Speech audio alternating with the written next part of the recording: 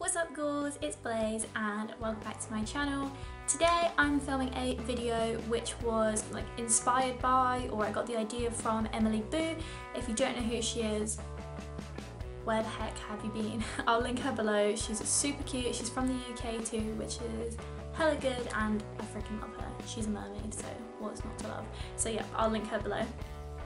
So, video is 10 strange facts about me and I thought this would be really fun to film because A, it's not like a like a haul or a review or first impressions. It's nothing like having products and showing products and stuff so it's a nice refreshing break from showing you loads of things.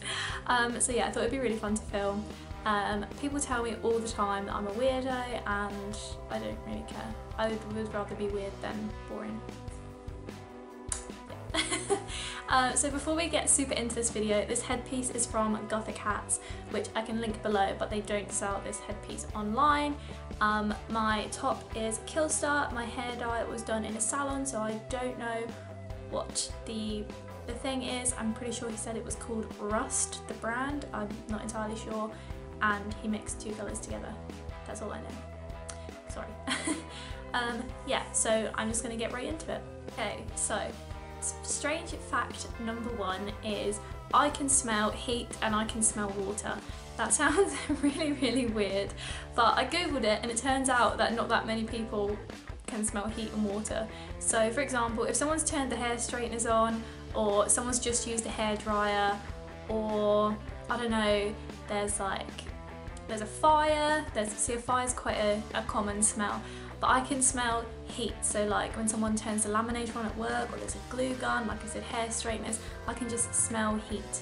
That's can't explain it, I can just smell it. And water as well. If I go into the bathroom and the bath is full, I could like walk into the bathroom with my eyes closed and tell you whether or not there's water in the bath because I can smell the water. It's really, really weird. But yeah. Fact number two, or strange fact number two, is me and my younger sister both have an obsession with damp flannels or damp laundry. Like when we were little, you know when you're a kid and like you bath with your siblings, so me and my sister were in the bath and we would always grab the flannels that my mum kept on the side of the bath and like put them on our face and just sit there and smell them. I don't know what it is, but the, the smell of a damp flannel is so good and damp laundry oh my goodness when I'm doing the washing and I'm hanging it out on the air I just sit there smell each piece of clothing before I put it away. Like it just smells so good. Like damp laundry is good because you've got like the softener and whatever and it smells really good. But just a damp flannel is like when it's been left for a while. Love it. Um, the aircon at work is really, really old and only one of the things works, so there's only aircon on one aisle at work. So every morning I race to be the first one to turn it on so that I can walk down the thing and just smell because it smells really damp when you first turn it on and I fucking love it. Weird fact number three is I'm, re I'm weirdly really good at guessing people's star signs from little information about them. So um, like a good example of this is I went to Apocalypse, which is like the goth night once a month here, and I was sat at a table of three or four people, and I guessed three out of four of their star signs correctly just by having literally a small conversation. Because like star signs have really big or common traits and by talking to someone and getting to know them you can learn their traits and stuff and I'm just really good at guessing star signs so yeah not really a useful talent but it's my party trick I guess Do you know all my life people have been like oh this is my party trick oh that's such a good party trick and I don't have one. But now I've discovered I can guess people's star signs so that's pretty fun. Weird fact number four is I feel like I know how I died in my past life. So whether you believe in it or not is one thing but I feel like I know in my past life because I am I'm quite claustrophobic not in terms of like just like a cupboard or something but being trapped and being crushed and being like caved in and I have a horrible horrible fear of ribs.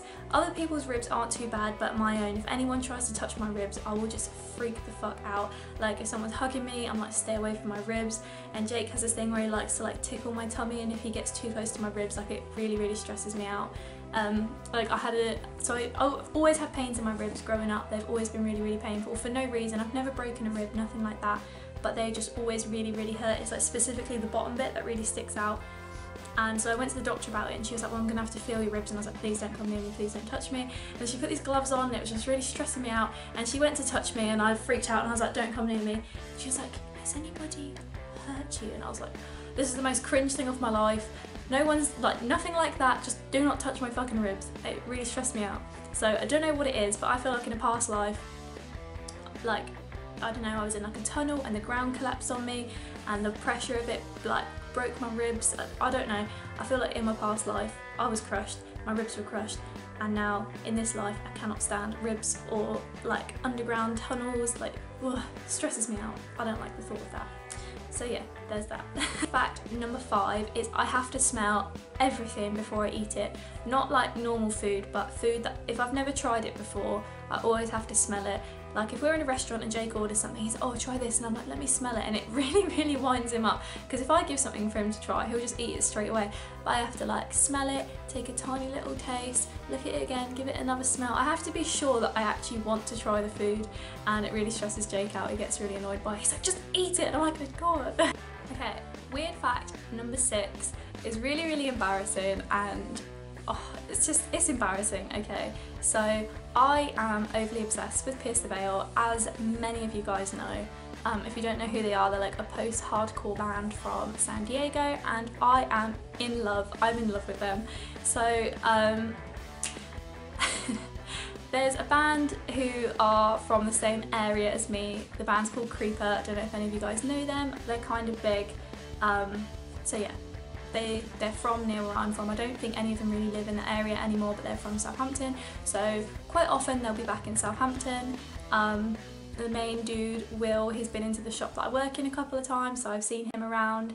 And another member of the band, the drummer, Dan, I seem to see him whenever I go out, he's always out. So my friend Katie is really good friends with the band and I don't know, she's good friends with them. And so the first time I met them, I was in the Edge and she introduced me to Dan. And so I had a little chat, stuff like that. And then I suddenly thought, oh my goodness, Creeper are touring with Pierce the Veil, and this is before they toured. So the whole time I was just chatting about Pierce the Veil, and this guy's probably like, shut the hell up, like who is this girl harassing me about Pierce the Veil? But he hadn't actually, I think he may have met them, but I don't, I don't know, I think they knew each other, but they hadn't gone on tour together yet. I think oh they opened them in like one show. I don't know. I don't I can't remember but yeah so basically he knew Pierce the Veil and I was like obsessed. And so that night's finished, blah blah blah. And then a couple of weeks ago I went to Apocalypse, like I said, the goth night near where near where I'm from, and Dan was there again. And this time he had been on tour with them all over America. So I was like, this is my fucking time. So I spend a good 40% of the night chasing Dan around but trying to act casual and trying to like accidentally like bump into him and like oh I didn't see that oh it's you and then he clearly had no idea who the fuck I was but I was like Katie you know Katie and he was like oh yeah so I was like right common ground let's talk about Katie and then I'm like so Pierce the Veil I'm literally so embarrassing. I'm like, oh, who's your favourite member? What are they like? And he's like, oh, I really get on with Jaime. We were drinking. And I was like, was it whiskey? And he was like, uh, yeah. I was like, Jameson's. He was like, um, yeah? Like I know too much about this band. I'm a pure embarrassment when I'm out and I'm drunk and there's someone who knows Pierce the Veil. I once walked around Stonehenge at the summer solstice just shouting asking if anyone knew Pierce the Veil. I found a fan in the end. Hooray. But yeah so I'm pretty embarrassing when I'm drunk and it comes to Pierce the Veil Um, weird fact number seven is I like really weird combinations of food that other people think are disgusting. So one of my favourite meals, when my mum used to work later, so she, so I'd come home from school at about half past three and my mum would, um, she'd stay on to work till six, so she'd be home at half six, so I'd make my own dinner. Um, so my favourite meal to make was I'd have two Quorn burgers and I'd cut them up into little sections. I'd make a big bowl of cauliflower cheese, only microwave, like I wasn't good at cooking. I'm still not good at cooking. So big bowl of microwave of cauliflower cheese, loads of chopped up Quorn burgers and then spaghetti shapes all mixed in together and that was my favourite dinner. It was so good. But obviously I could only have it once a week when I'd come home on a Friday when my mum worked late because no one else would eat that dinner and my mum would not serve that to me as a dinner. So that was my favourite thing to eat. I also really really love chocolate spread and cucumber sandwiches. Oh my god, they're so good. Like don't knock it till you've tried it. It's good.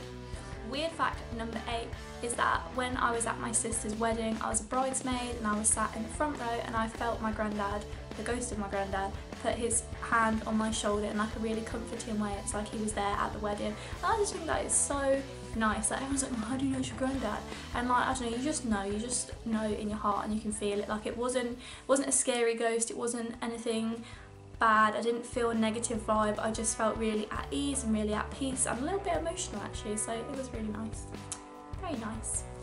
Um, strange fact number nine is that like obviously I like to dress different and I have you know, I'm interested in clothes and fashion and stuff like that. But what a lot of people don't know is I actually have a really big interest in the fashion industries and like mainstream fashion industry or more high end. Um, so for years and years I've always wanted to be either like a designer or a stylist or something to do in the industry. For a while I wanted to be a buyer. Um, so I started a blog when I was 15 and I was really really into it as like as much as I am into YouTube now, I was into my blog back then. It was just a little blog spot thing. It was called Dixie Plum Pixie and I would write posts every week, several times a week, and I had different like sections, different things. So I had like um, I can't remember what it's called, it was like wardrobe staples and I'd like write about each piece that you should definitely have in your wardrobe. I'd do like what's hot little trend reports and I ended up collaborating with a woman called Anya Saar who is a stylist and has worked with Kim Kardashian so who would guess by looking at me that I'm really into the fashion industry and actually quite passionate about trends and um, stuff like that. Yeah, who knew? and right, so strange fact number 10 is really strange and it's, it's kind of a phobia or more like, like nails on a chalkboard how it's a really, you know, people don't like it. So my biggest thing is I agree with Emily Boo on hands, fingernails in carpet. I, that makes me feel horrific. My friends at work know that I can't touch the carpet, so if something drops on the floor, then Demi at work always helps pick things up because I just I can't touch the carpet with my nails. It's hideous. But the other thing that really stresses me out to that extreme same with my ribs is lunchboxes. It sounds so stupid. It's not the lunchbox itself. It's when you like you come home from school and your lunchbox is lunchbox. Your lunchbox is like half empty and you open it up and A, there's the smell. The smell of it is just rancid.